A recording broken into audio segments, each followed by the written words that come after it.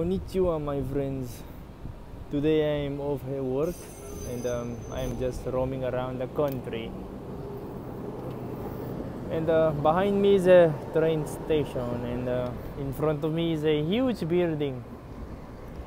It is a very important building, and uh, I don't know much about it, but what I want to say to you guys is um, I hope you guys have a good day not every day is a good day and um, sometimes things can be bad but there is always a rainbow after a rain they say. Not every rain but most. Okay. You know my point right? Anyway you guys have a good day.